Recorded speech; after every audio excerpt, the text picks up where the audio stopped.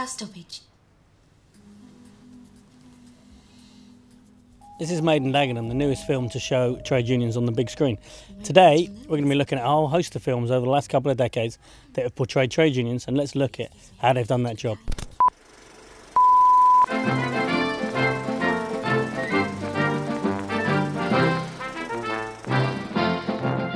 In Dagenham's a bit of a success story for trade unions, actually.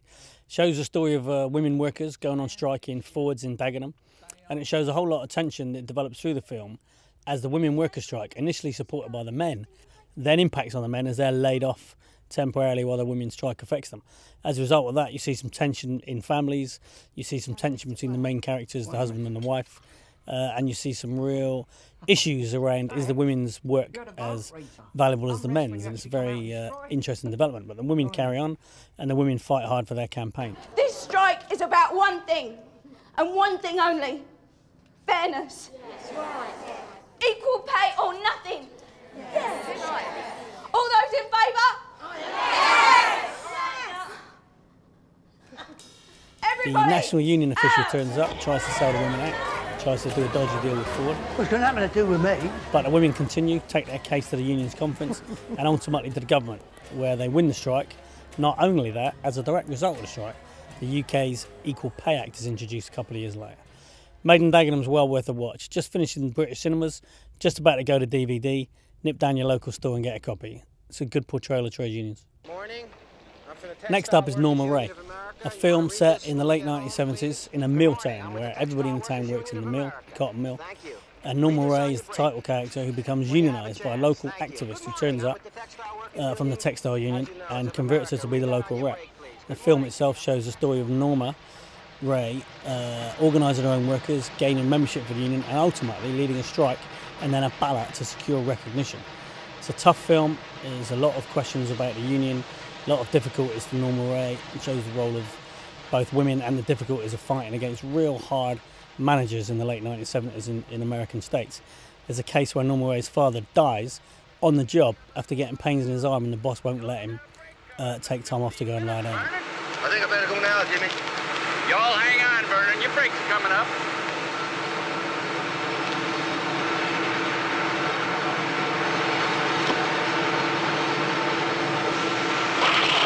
I think it shows a clear role for trade unions.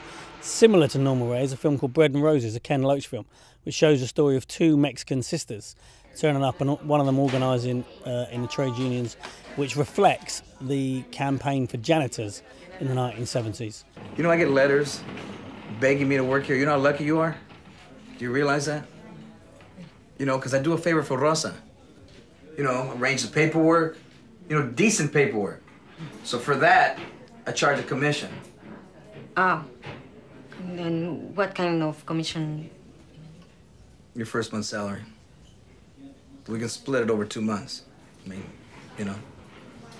What do you say? Both films show women becoming more and more organised in trade unions, organising and, and uh, getting recruitment in their own workplaces, and ultimately the films themselves show similar themes. Next on our list is Billy Elliot, not a film you'd initially think perhaps has got a lot to do with trade unions. A very feel good movie, it was a blockbuster movie that a lot of you would have seen. It tells the story of a kid who wants to become a dancer against the odds in a northern mining town and then ends up at the uh, Royal Ballet School. But the film is set totally against the backdrop of the miners' strike in 1984. And the whole family story is set against the difficulties of both the father and the older brother being involved in that strike for 52 weeks. And there's some great scenes of the police chasing the brother, some great picket line scenes, some fantastic trade union scenes where both the father and the older brother are on the line trying to turn over and stop the vans entering the uh, the mines. It's a real gutsy, gritty film. Set and set against that is a real heartwarming story of Billy Elliot finally getting to where he wants to get to. And there's a really amazing scene where the father, desperate to suddenly provide the money for Billy to go down to London, ends up trying to break the strike. And there's a very emotional scene where the older brother breaks into the mine to stop him working. Dad, you can't go back, not now! Look at the state of man. What have we got to offer the poor son? Can't do this, not now! Not after all this time, not after everything we've been through! It's for we bullets! It's a great scene. Uh, it's a great film. It's an unmissable film in terms of uh, everything that goes on in it. But there's also a great seminal miners' strike moments in the film, which are really worth watching from a trade union perspective. It's okay. He's gonna be okay. Just get him out of here, Tony. Wait, leave it. Go on. Next up is Hoffa, and we're looking at the, the film with the portrayal of Jack Nicholson playing Hoffa, uh, which is a really powerful film that shows both good and bad portrayals of trade unions. The early parts of the film show Hoffa out organising for the International Brotherhood of Teamsters, holding meetings, stopping people working, growing the recruitment, and really growing the uh, strength of the transport union. Cross the line. Join the Teamsters. That's right. That's right. Put it down. And don't get that traitor. Until the time. You don't need some managers. You don't But uh, later in the film, we lose track of that. We lose the fact that Alf actually built the Teamsters into a 1.5 million strong union, and actually the film delves very much more into the mafia side uh, and connections between Teamsters and uh, and the mob. Americans have tried to portray unions a lot in this sense. There's a lot of mob connections with trade unions, and ultimately the film ends up with the disappearance of the great man himself. It's a good film. It's worth watching just for Jack Nicholson's portrayal of Hoffa himself. Thanks for coming. Next up is I'm All Right Jack, probably the oldest of the films we're going to look at today, but a timeless classic. Peter Sellers uh, plays the role of the shop steward in a big plant where really you can see a satire on both management and unions. It's great fun. It uh, shouldn't be taken too seriously, but there's some great moments. You'll see the trade union committee march across the forecourt, march into the manager's office and demand that they lay off a man who hasn't got a union card. When the management agrees, they take an adjournment and come back in and demand that he's reinstated. Pure class. Can't take it too seriously. But Sellers is fantastic. Both the management and the union are parodied. It's definitely worth a look, and you get it in all good DVD stores. Uh, and because of its age, it's cheap. Definitely worth a look. Sticking with the comedy theme, uh, next up is Carry On at Your Convenience. One of the Carry On films at the height of its powers shows uh, a film set in a toilet making factory, as you would expect from a Carry On film. Uh, WC Boggs is the name of the company. There's a strike, uh, which is all about demarcation, all about asking people to do jobs they shouldn't be doing. Because if a tap fitter does it, that means he's doing a waste pipe fitter's job. If the waste pipe fitter does it, that means he's doing a tap fitter's job. Well, what the hell does it matter as long as they're both working? It's a very um, kind of what you'd expect, really. It's uh, it's baldy, it's ribald. It's a very poor portrayal of both workers and managers, really. I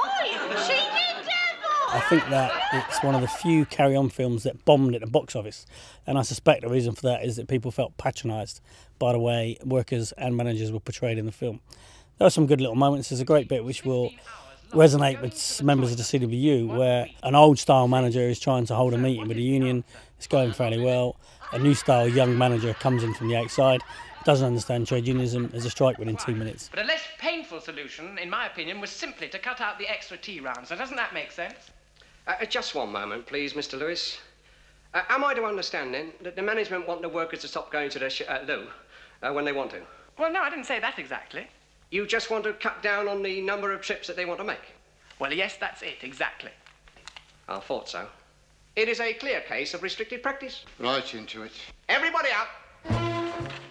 Not the greatest film ever made. It's a Carry On film. If you like Carry On, you'll like the film.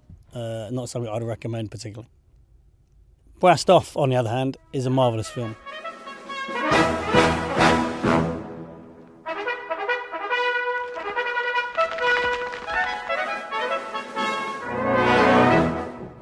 It's again not specifically about trade unions, but it's set in the backdrop of the post miners' strike and in the era of pit closures. And it's set around the Grimley Colliery Band, who were a brass band playing out at Grimley Colliery. The colliery gets closed, or was about to be closed during the film, but the band plays on. It's a great portrayal of what's going on around pit closures, great portrayal of the rundown of British industry during the 80s. Some fantastic performances and some great little scenes. There's a scene where one of the fellas who's uh, as their skint and as the mine closes starts taking a part-time job as a clown and then votes for the redundancy payment and feels bad about himself. And there's this fantastic line do you still want to talk to me? I'm coco the scab. And it's a, it's, it's a real portrayal gritty uh, show of what happened in mining industries when they were closed down what happened post the miners strike. It's a brilliant film. Pete postlethwaite ends the film with a powerful speech and it really shows everything that was wrong about the rundown of British industry in the 80s and the role that trade unions played in fighting against that. This government has systematically destroyed an entire industry, our industry, and not just our industry, our communities, our homes, our lives, All in the name of progress and for a few lousy bob. If this lot was seals or whales, you'd all be up in arms, but they're not, are they? No, no, they're not. They're just ordinary, common garden, honest, decent human beings, and not one of them with an ounce of hope left. That's a great film. If you haven't seen it, don't miss it. Go buy the DVD. Brassed off, couldn't recommend it more highly. It's definitely my all-time top 10. Turning now to Wall Street, the second of our blockbuster movies today. Wall Street is an 80s classic. It actually shows the antipathy of trade unionism. Gordon Gekko is the real 80s Reagan Thatcher child. Business is business. You keep on buying. He's greedy, he's uh, outright capitalist, he does anything to make a buck, he's a criminal. And he coined the great phrase, of course Greed, for lack of a better word, is good. And the interesting thing about the film is that the only person who ever sees through Gordon Gekko's aims is the shop steward, the trade unionist who works in the airline factory when he buys it out, who is played by Martin Sheen, who's Charlie Sheen's father. Charlie Sheen, of course, in the film is Gordon Gekko's acolyte and protege. There came into Egypt pharaoh who did not know. I beg your pardon, is that a proverb? No, a prophecy. The rich have been doing it to the poor since the beginning of time. The only difference between the pyramids and the Empire State Building is the Egyptians didn't allow unions. I know what this guy's all about. Greed. He don't give a damn about Blue Star or the unions. He's in and out for the buck, and he don't take prisoners. Now, wait just a minute, Dad. Well, sure. Now, what's worth doing is worth doing for money. It's a bad bargain if nobody gains. And if we do this deal, everybody gains. One of the interesting themes that runs through Wall Street is the comparison between greed and fairness. Martin Sheen represents Charlie Sheen's father and represents fairness in the film. Gordon Gekko represents greed and becomes a father figure to Charlie Sheen's character. In the end of the film, Charlie Sheen has to make a choice, and even though it's at great personal cost, he chooses fairness, and that's a very warm theme which runs through the film. Wall Street shows everything that was bad about the 1980s, but it does show both sides of the coin. It shows successful capitalism and it shows the worst side of capitalism. But most importantly, it shows the trade unions and the representative of the trade unions fighting for his own workers' rights. It's a good film. It's a fun film. It's a real blockbuster. Most of you would have seen it. If you haven't, go and watch it and uh, go and watch the sequel in the cinemas. And finally, On the Waterfront, an old film starring Marlon Brando, where the Americans portray a very corrupt union, a union corrupted by the mob, uh, in which the local men stand up against the unions and organise against it and demand fairness. Brando's great in it, and the film's most remembered for the great line, I could have been a contender, but in truth, the film is a great portrayal of what happens when people stand up for themselves and organise against corruption. You want to know who works? The ones I picked to work. Now get going. Come on, all of you. Get in there. Come on, get to work. All of you. Come on, get up here. Come on, Pop. I'm a double. You work today. All my life, you pushed me around. Oh, come on. Hey!